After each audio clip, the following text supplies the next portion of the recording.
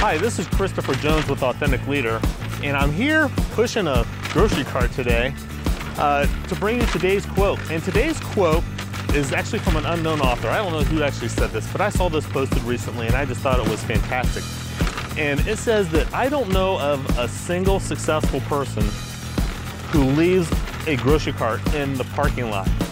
And you know, it speaks less to whether you leave a grocery cart in the parking lot or not, but what it does speak about is what your frame of mind is. What's your frame of mind? Are you out to help people? Uh, are you out to make the situation better? Uh, there's a lot of people who do just leave a grocery cart wherever they find it. Um, are you that kind of person that when you see trash on the floor, you just leave it sitting on the floor?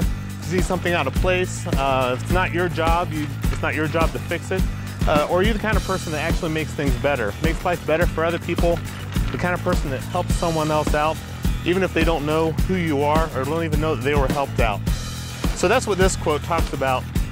And I want you to think about, are you the kind of person that leaves a grocery cart in the parking lot as well when you go to the grocery? I hope you find this something to think about today. I hope you come back for tomorrow's quote. And more importantly, I hope that you bring out the best in your leadership.